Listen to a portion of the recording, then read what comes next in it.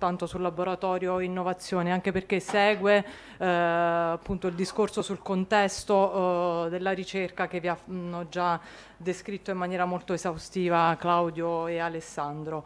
Eh, poi daremo la parola a Caterina Viviano, Michele Dalò e Giovanni Lombardo e Claudio Santoro per la eh, presentazione degli output del laboratorio innovazione. Cogliamo questa occasione anche per ringraziare tantissimo i team che hanno lavorato con noi alla quantomeno alla realizzazione. A noi piace dire anche alla riuscita di questo primo anno di sperimentazione del laboratorio innovazione. Li ringraziamo anche per, aver, per averci supportato in qualche modo eh, in questo anno che non è stato facile, quindi hanno, avete anche saputo dire, superare con noi alcune difficoltà organizzative che oggettivamente ci sono, ci sono state. Quindi il laboratorio innovazione che cos'è e quali sono gli obiettivi? Nasce nel contesto che vi hanno già raccontato eh, i nostri colleghi, quindi di tentativo di eh, rafforzare il ruolo dell'innovazione e della ricerca eh, in istituto e che cos'è? È proprio uno spazio fisico dedicato che permette a, uh, uh, a ricercatori, a colleghi di uh, dedicare del tempo alla ricerca e di dare così un contributo in termini di innovazione all'istituto. La cosa fondamentale che ha ottenuto il, il laboratorio innovazione è stata una collaborazione il fatto che qui siamo in tanti e provenienti anche da strutture molto diverse ne è la conferma di eh, professionalità e competenze distinte, quindi sono stati messi a lavorare nello stesso luogo per progetti comuni finalizzati al miglioramento della qualità dell'informazione statistica persone provenienti da strutture eh, diverse.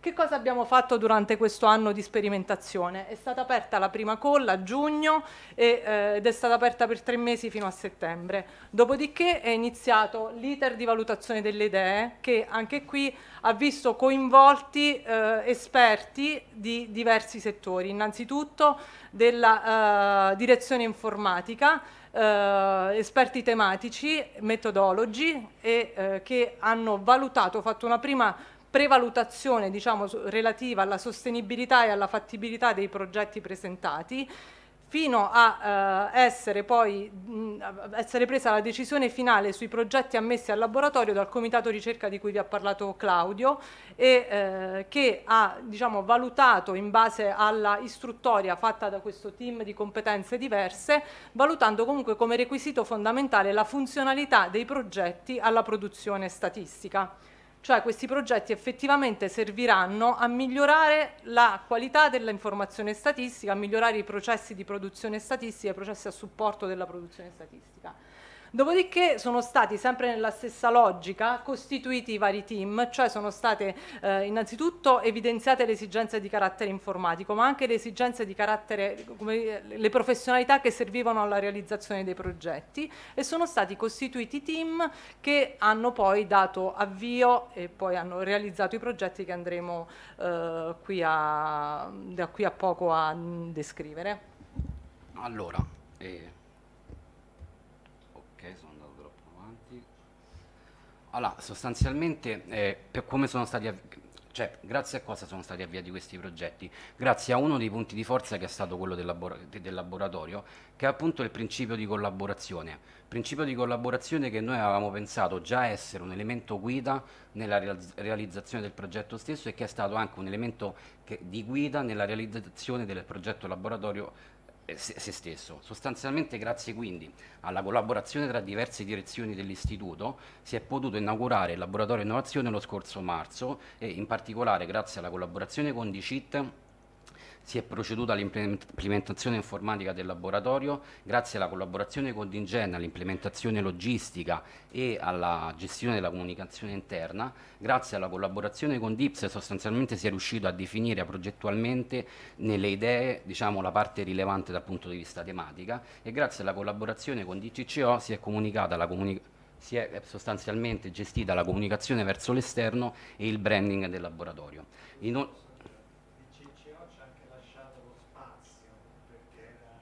Certo. Sì.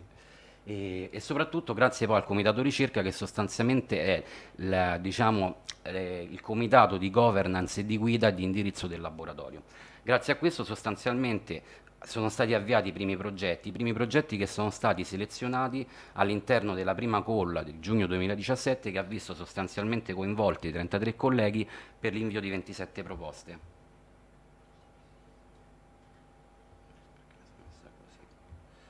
Questi, sostanzialmente questi progetti sono stati selezionati all'interno dell'area del programma innovazione, ne sono stati selezionati sei e praticamente tre sono quasi terminati e sono praticamente i temi dei prossimi interventi. E concludo semplicemente informando che è stata avviata la seconda colla del laboratorio innovazione e stanno attualmente pervenendo le nuove idee che saranno realizzate nel 2019. Grazie per l'attenzione. E...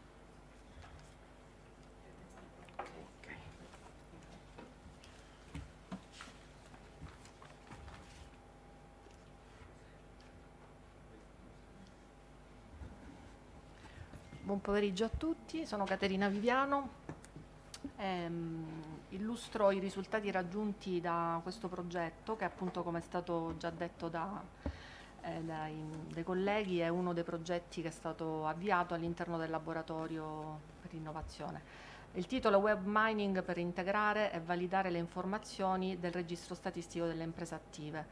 Allora, ehm, diciamo che ehm, questo progetto è un progetto eh, che ehm, ha unito appunto diverse professionalità, professionalità del tematico, come vedete il registro statistico delle imprese è un, un prodotto che noi produciamo già da anni eh, in istituto ed è ottenuto da un processo produttivo standard, classico diciamo, eh, utilizzando fonti amministrative. Invece l'obiettivo di questo progetto era proprio quello di utilizzare i big data, quindi informazioni che eh, vengono acquisite dal web, eh, e in particolare informazioni ehm, sulle ehm, singole imprese eh, acquisite con diverse tecniche di cui farò un brevissimo excursus, eh, a supporto e proprio per essere integrate all'interno del registro statistico. Quindi di fatto ha un, un obiettivo molto grosso perché è quello di eh, praticamente integrare all'interno di una struttura eh, strutturata, quindi eh, diciamo sempre a regime solida, dati che sono per loro natura destrutturati, presi dal web.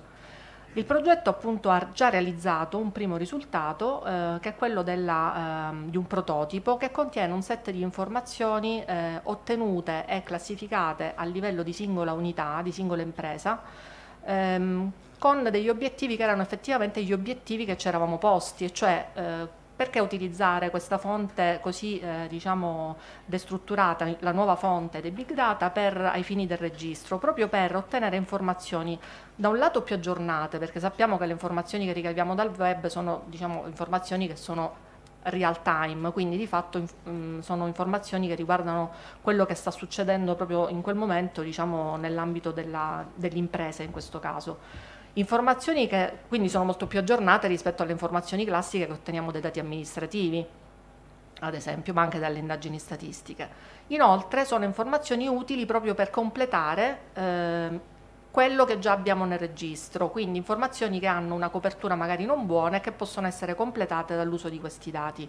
Un altro mm, importante diciamo, obiettivo era quello proprio di validare, quindi di verificare le informazioni che erano già presenti nel registro affiancando delle informazioni per farne valutazioni anche eh, di qualità. Eh, nonché la cosa diciamo anche molto più importante è quella di aggiungere un nuovo contenuto informativo che non avremmo assolutamente mai da, da fonti amministrative ad esempio non, che magari non coprono tutta la popolazione delle imprese ma delle sottopopolazioni o delle particolari eh, classi di popolazione e quindi avere un, naturalmente un maggiore set informativo. Chiaramente questo tipo di eh, risultato, che è un prototipo in questo momento, a regime avrà l'obiettivo di eh, permettere la produzione di statistiche sperimentali. Eh, da affiancare alla classica produzione appunto tradizionale delle statistiche sulle imprese. Probabilmente in un futuro si potrà pensare alla possibilità di integrare queste informazioni in un processo diciamo a regime e quindi di utilizzarlo anche per produzioni più standard anche di statistiche ufficiali in un prossimo futuro.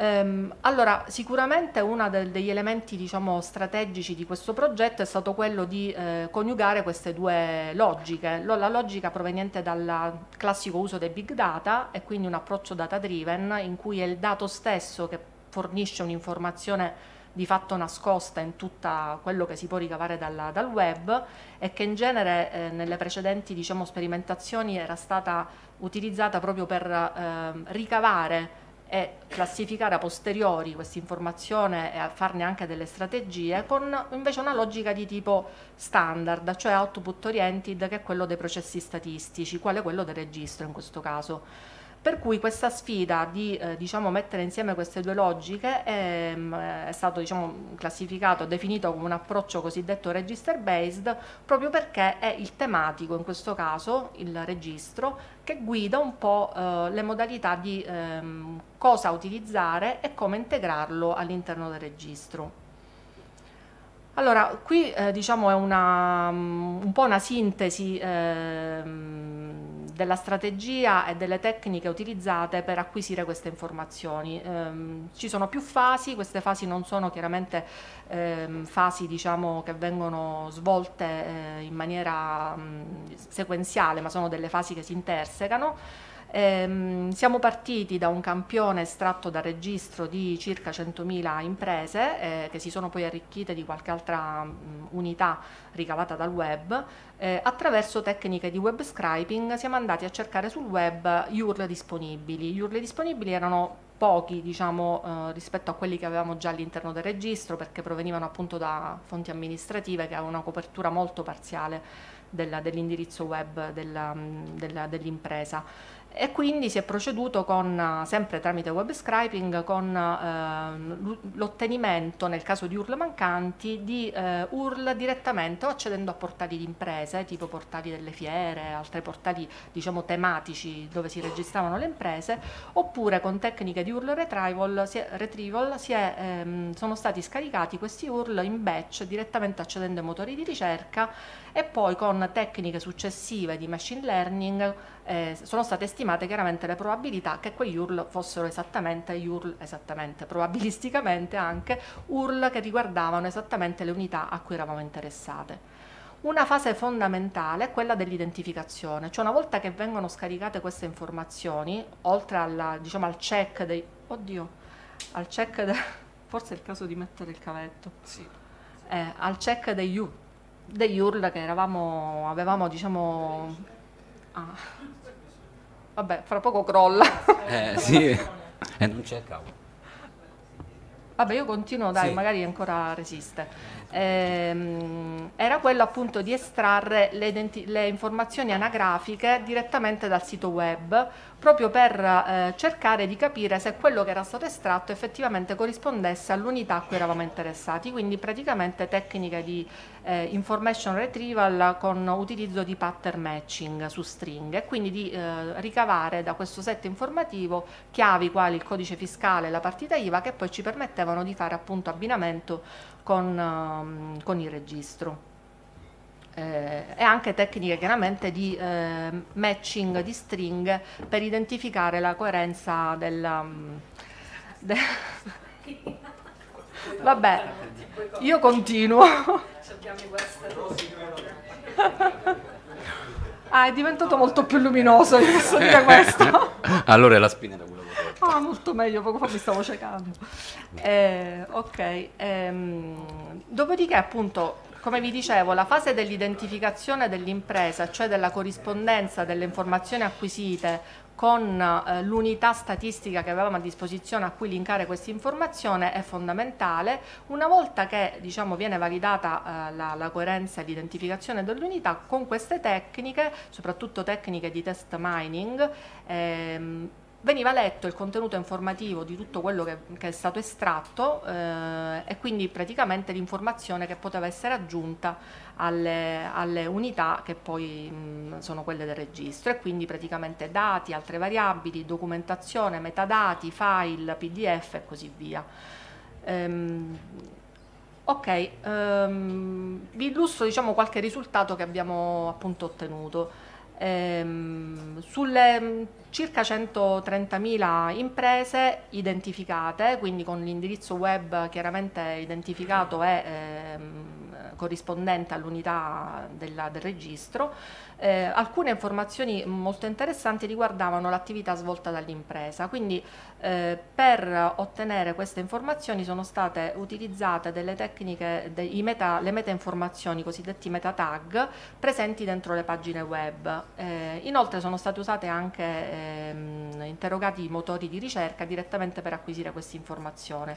Quindi Qual è il valore aggiunto? Chiaramente noi nel registro abbiamo le classificazioni ufficiali dell'attività economica, ma provengono sempre dalle fonti amministrative. Come l'impresa si presenta sul web, lo descrive anche attraverso eh, diciamo questi, anche i listini o altre tipologie di informazione da cui viene estratto appunto con questi meta tag la dicitura e quindi questa informazione ci aiuterà a classificare meglio, a dare mh, anche attività secondarie e quindi ad aggiungere informazione o a validare l'informazione sul registro. Molte altre informazioni aggiunte eh, sono state quelle relative ai contatti. Eh, il contatto dell'impresa anche lì è rilevante, eh, in questo caso per esempio le mail eh, siamo riusciti ad ottenere, a estrarre dal web eh, molte mail, circa il 95% di tutte le unità identificate hanno, hanno diciamo, siamo riusciti a ricavare l'informazione sulla mail. Eh, un po' di meno nel caso del recapito telefonico, eh, per esempio abbiamo acquisito per il 57% delle imprese il telefono fisso, eh, il fax e il cellulare, non che queste non fossero presenti nei registri ma avevano una copertura parziale, quindi eh, in questo modo incrementiamo praticamente la copertura dell'informazione. Invece per quanto riguarda informazioni aggiuntive, ehm, per esempio una cosa interessante è stata l'identificazione delle imprese che esponevano direttamente un link a un social media. Questo è proprio una, numericamente, eh, aver associato eh, numericamente all'insieme delle unità che abbiamo identificato l'esistenza di questi link. Chiaramente questo apre diciamo, una possibilità a nuove analisi perché veniamo a conoscenza dell'uso dei social media da parte delle imprese e che cosa possono farci per ricavare eventuali profili delle imprese o fare ulteriore in, analisi di, con altri indicatori o ulteriori approfondimenti così come per esempio l'identificazione e il download di file in PDF. Eh, una cosa che ehm, è stata riscontrata sui siti web delle imprese è per esempio la presenza di bilanci in PDF oppure di cataloghi di prodotti. In questo caso sono stati scaricati proprio questi PDF che possono quindi essere agganciati proprio all'informazione puntuale dentro il registro e usati da tutti, eh, ma anche sono state fatte delle analisi testuali all'interno dei PDF per ricavare proprio di che cosa si tratta, si tratta di un bilancio, si tratta,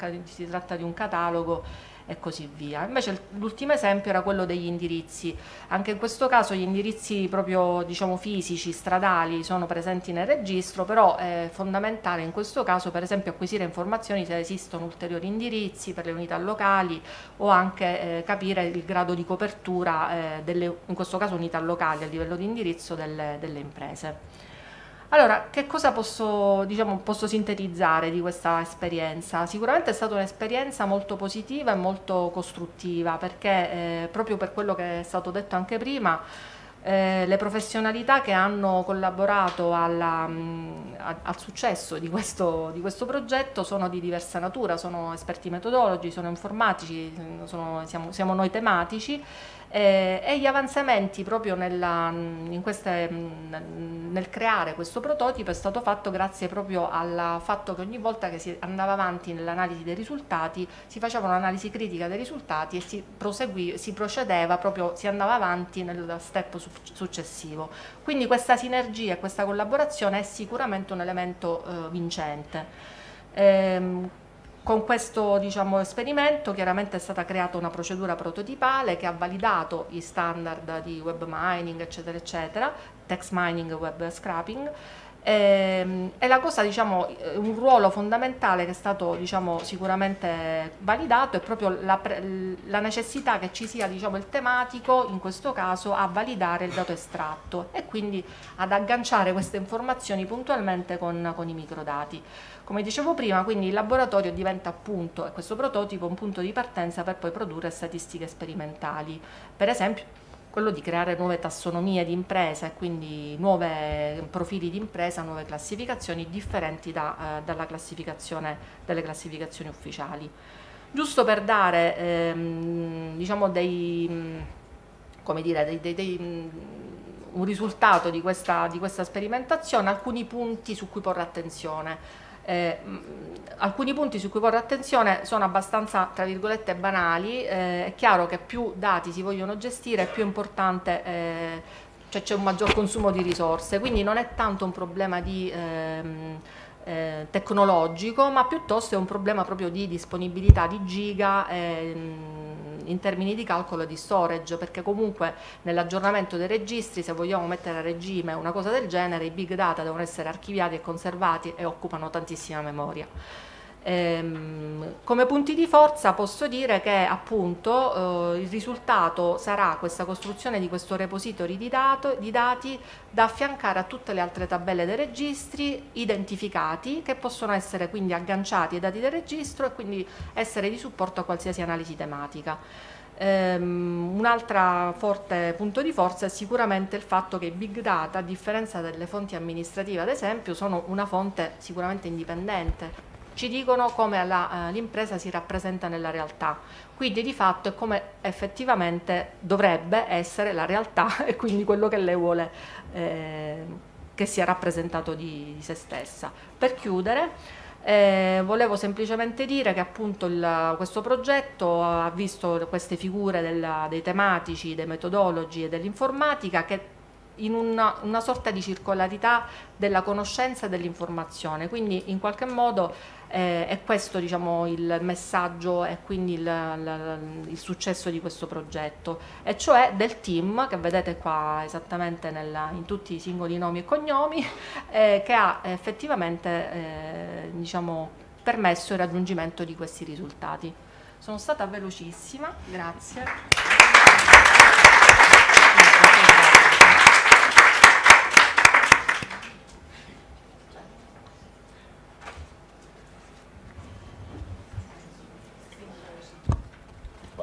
Avvisami quando scade il tempo. Sì. eh, ma anche perché poi uno perde la concezione del tempo. Dove sta? Eh, rimangono nove minuti. Eh, ho capito, però. Come si fa a vedere qua? Vai, questa. Vai. Ok, andata, poi qui andare avanti. C'è da fare questo? Vai lì e clicchi per andare avanti. Perfetto. Ehm, eh, l'obiettivo del, del progetto oh, appunto di, di, del laboratorio di innovazione è quello di proporre uno strumento statistico in grado di fornire stime a livello molto, molto dettagliato utili a supportare le politiche urbane eh, eh, base, eh, in base alle specificità territoriali. Eh, L'idea è partita dalla, da esigenze iniziali del Comune di Roma ehm, che ha bisogno di alcuni indicatori appunto a livello di, di comune metropolitano e quindi è, è partita l'idea di eh, provare a stimare alcuni indicatori, eh, in particolare alcuni indicatori del benessere ehm, per tutti i comuni metropolitani e per altre aree. Inizialmente le province, eh, in seguito vedremo a che livello ci può estendere eh, eh, in più si pensava di mh, considerare delle aree funzionali, quindi delle aggregazioni funzionali di comuni molto piccoli. L'idea è quella di sfruttare, eh, oltre all'informazione proveniente da uh, le indagini uh, dell'Istat, le indagini principali dell'Istat, le nuove fonti di informazione, in particolare il, i dati amministrativi provenienti da Archimede. Il, il, risultato atteso è quello di, prodor, di proporre una metodologia utile a fornire stime che siano uh, uh, molto dettagliate e che permettano contemporaneamente di eh, fornire un'informazione che sia coerente con quella usualmente diffusa dall'Istat. I partecipanti al progetto sono, sono, quelli che leggete lì e sono, fanno parte del, del, di due di, di, dipartimenti e direzioni differenti e più c'è eh, Clementina Villani di, del, del, Comune di Roma, e, mh, la professoressa Ranagli e Gaia dell'Università di Perugia e Gaia Bertarelli dell'Università di Pisa. E I parametri di interesse su cui ci siamo fo focalizzati sono questi qua, il rischio di povertà, la diseguaglianza del reddito, la bassa intensità lavorativa e la severa deprivazione materiale. Qui potete leggere le definizioni, io vado avanti anche per una questione di tempo. Eh, I dati disponibili usualmente provengono dall'indagine USILC che fornisce stime a livello regionale che è il dominio pianificato dal disegno dell'indagine, le piccole aree in questo caso appunto sono province e comuni metropolitani e, e appunto oh, di, di, questi indicatori uh, uh, attraverso Archimede è possibile calcolare delle proxy di, di, questi indicatori, però a causa di differenti definizioni, eh, soprattutto riguardanti il reddito, eh, questi indicatori non coincidono uh, con quelli eh, prodotti dall'Istat tramite indagine a livello di dominio pianificato e qui eh, entra il problema della uh, consistenza e della coerenza dell'informazione fornita dall'Istat. Questi sono, oh, non so se si vede la mappetta, sì si vede, questa è la dimensione campionaria dell'indagine eh, uh, di, di OSILC, nella tabella c'è un focus sui comuni metropolitani, questa dimensione, dimensione campionaria, essendo dominio, i domini non pianificati, è molto variabile, di conseguenza anche la precisione di eventuali stime è molto variabile. Pertanto al fine di eh, assicurare delle stime che abbiano un, maggior, un, livello di precisione più alto si è pensato di utilizzare dei metodi di stima per piccole aree che, eh, che in estrema sintesi eh, eh, prendono forza dalle altre eh, aree ehm, mettendo in relazione la variabile di interesse con variabili usualmente eh, di, di tipo amministrativo di archivio attraverso la definizione di un modello.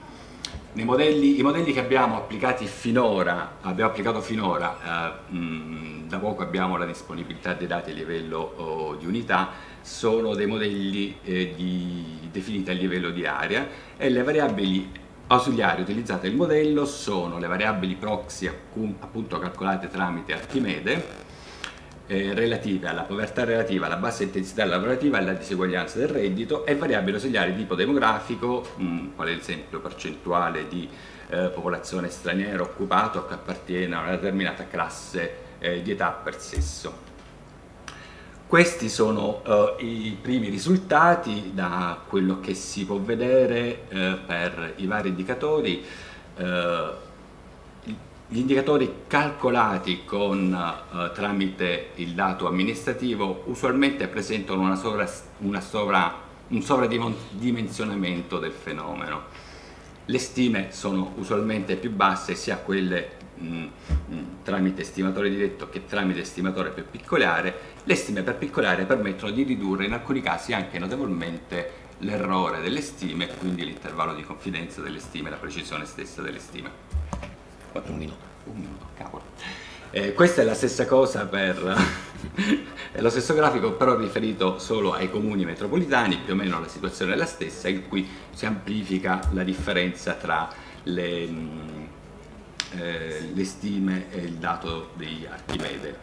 Eh, ancora qui potete vedere le differenze tra le stime e, e, ehm, e, il dato di Archimede spesso il dato di Archimede esce notevolmente fuori non solo a un valore diverso ma esce anche molto al di fuori tranne in alcuni casi dell'intervallo di confidenza delle stime. Tuttavia eh, si può notare una correlazione molto forte tra le eh, variabili eh, mh, di interesse e le proxy di, Archimede, per cui questa è la ragione per cui abbiamo, abbiamo pensato di utilizzarle come covariate nei, nei, modelli che abbiamo utilizzato. Devo andare velocissimamente perché credo il tempo stia per scadere. Eh, questi sono i primi risultati per il rischio di povertà, eh, mh, le stime eh, mh, diciamo che mappando le stime c'è una buona eh, coerenza tra le stime, il, i CV si abbassano, qui c'è un focus sui, ehm, sui comuni metropolitani, eh, si vede um, ancora la differenza tra stime e il dato di Archimede e questa è la diseguaglianza del reddito. Mi soffermo un attimo su questo indicatore che è un indicatore molto particolare perché è dato dal rapporto tra le code di una distribuzione per cui mh, sicuramente molto influenzato da valori anomali eh, e nelle piccole aree più si aggiunge la bassa dimensione del campione. Eh, salto queste altre, dato le conclusioni eh, sono più o meno le stesse anche per gli altri indicatori eh, e quindi vado direttamente alle conclusioni. Quello che abbiamo potuto vedere è che i dati amministrativi sono importanti al fine di ottenere miglioramenti di efficienza nelle piccole aree e soprattutto quando ci si introduce nei modelli una correlazione spaziale tra le aree.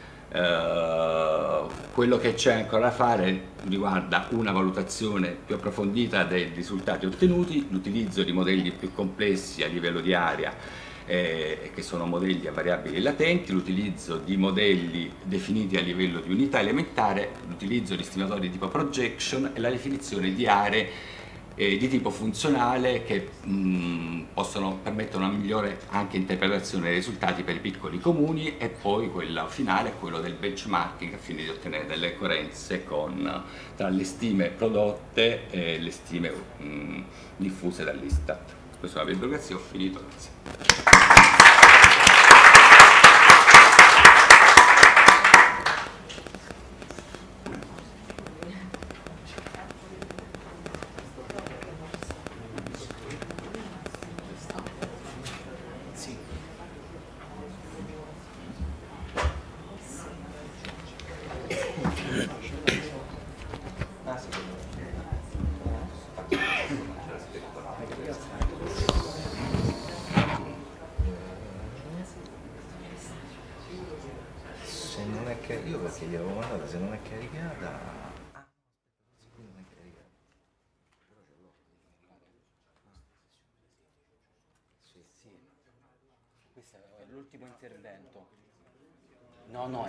È l'ultimo intervento della precedente.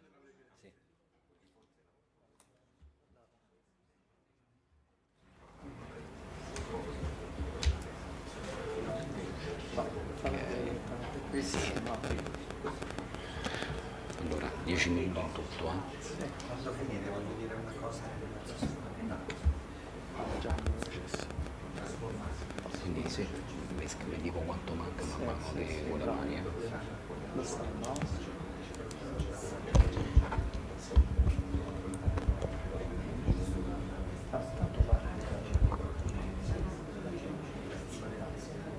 Ok, ehm, io sono Giovanni Lombardo, mi sono occupato praticamente insieme a eh, Macchia, Santoro e Cuccia del progetto Raccolta dati per il censimento dell'agricoltura 2020, che è un progetto che ha praticamente il più o meno complicato interesse di avere un impatto alto in alcune di quelle che sono le, le, le iniziative Istat, soprattutto nel discorso della microzonizzazione, quindi praticamente della nuova stesura sul territorio delle sezioni di censimento e poi soprattutto per quanto riguarda eh, la base cartografica eh, che poi andremo a vedere nel dettaglio per quanto riguarda il censimento dell'agricoltura del 2020.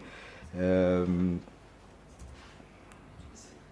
ok, questi sono quelli che vedete i eh, partecipanti al progetto, procedo in maniera estremamente veloce e estremamente schematica nell'ambito del quali sono stati i nostri input eh, praticamente innanzitutto il, discorso delle basi territoriali Istat quindi il, la, la metodologia Istat per descrivere eh, oggetti geografici eh, che descrivano praticamente l'oggetto geografico in maniera estremamente eh, fine e molto precisa, eh, utilizzata con il sistema di riferimento praticamente utilizzato per l'ultimo censimento del 2011 ed è praticamente rappresentato dal sistema eh, sezione di censimento e eh, maglia dei comuni.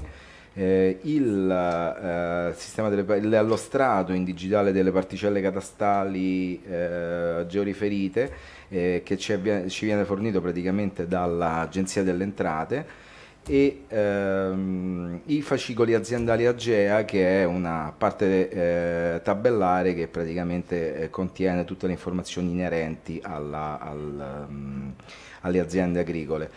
Ora il nostro criterio era ehm, fare uno studio di fattibilità qualora fosse possibile andare a vedere eh, il eh, georiferimento delle eh, particelle nell'ambito delle basi territoriali per quanto riguardava le particelle appartenenti alle aziende agricole.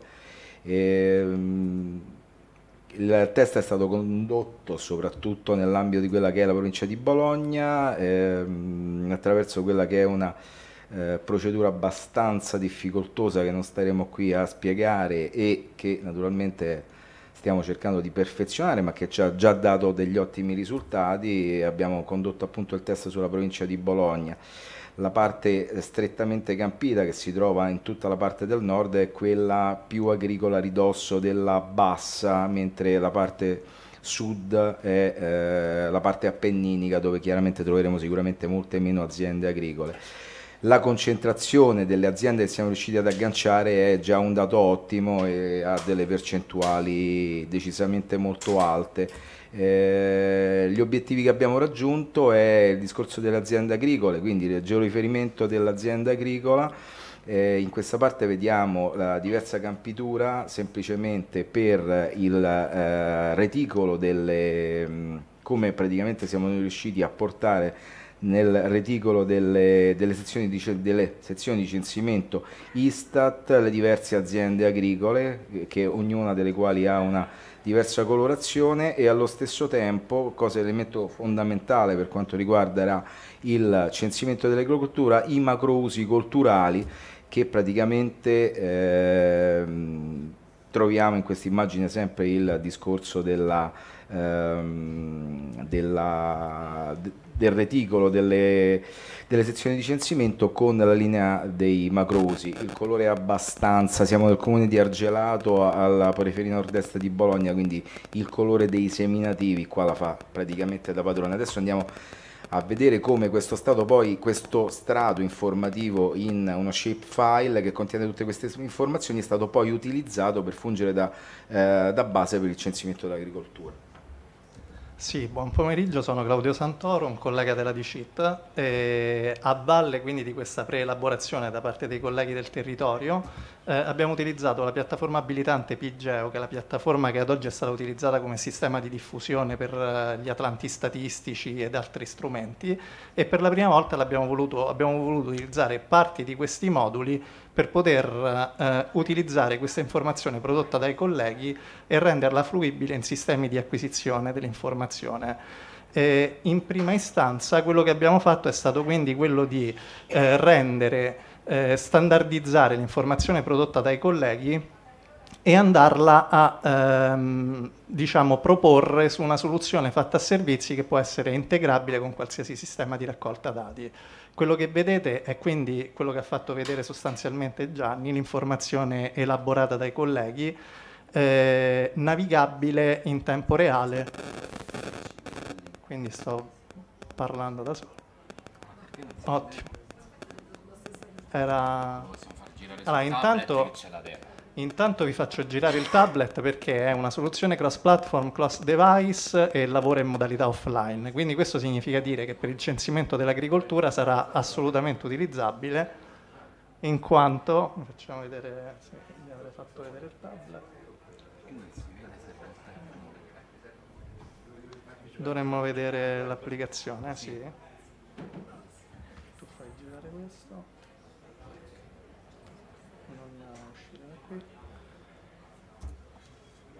Perfetto. Allora, quello che vedete qui adesso sull'applicativo sul computer è quello che vedrete nel, nel, tablet, quindi sostanzialmente è un'informazione che lavora in maniera standard, offline, può essere navigabile su tablet, l'idea è quella quindi di andare a mh, inserire questa informazione per i rilevatori opportunamente profilandola e il sistema, come dicevo, è offline, non ci sono soluzioni proprietarie, è basato su una soluzione dell'Istat, interamente progettata e realizzata in Istat.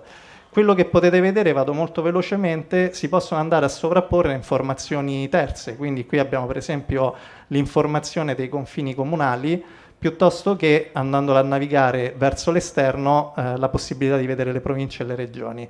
Eh, quello che vedete qui eh, utilizza una base map di tipo diciamo con ortofoto oppure con un'informazione più diciamo parlante a livello di eh, stradario per intenderci e, e andando a cliccare sulle celle eh, ci vengono date delle informazioni. Queste informazioni, queste che vedete adesso, sono dei codici, dei codici non parlanti per, per, lo più, ma in realtà potranno essere arricchiti di informazione. Quindi sostanzialmente, in due parole, per concludere, eh, il rilevatore potrà aver caricato sul proprio dispositivo offline l'informazione opportunamente profilata per lui e potrà utilizzare la stessa per navigarla sul territorio. L'informazione stessa è tutta di tipo open, quindi significa dire che eh, non richiede librerie, non richiede licenze e potrà essere utilizzata appunto in modalità offline, da qui il discorso del censimento dell'agricoltura, quindi con, un, diciamo, con una profilatura di aree non coperte da rete e, e poterla navigare, navigare sia per raggiungerla che per, uh, per controllare, per verificare l'informazione stessa. Grazie.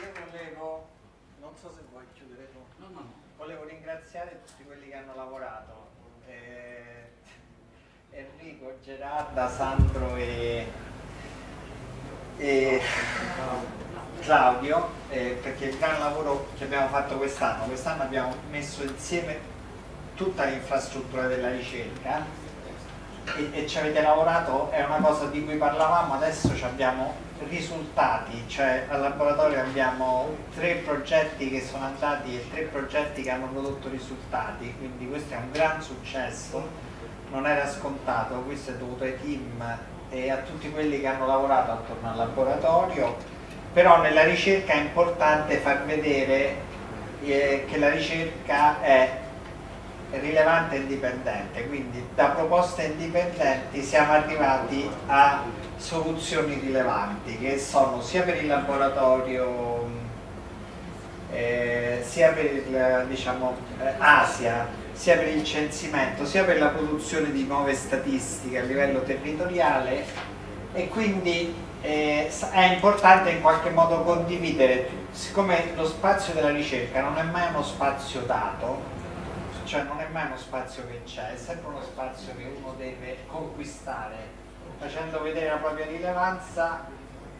Eh, faremo due giorni di presentazione di risultati, uno il 3 ottobre dove presenteremo tutti i risultati del laboratorio, ci avremo più spazio, spero di coinvolgere il Presidente e l'altro è il 19 novembre in cui eh, restituiremo tutti i risultati del, uh, discussi, della ricerca discussa nell'ambito del, dell'advisory board sulla metodologia. Quindi la ricerca un continuo andare avanti, però in questi giorni segnateveli sulle agende perché eh, saranno importanti. Per...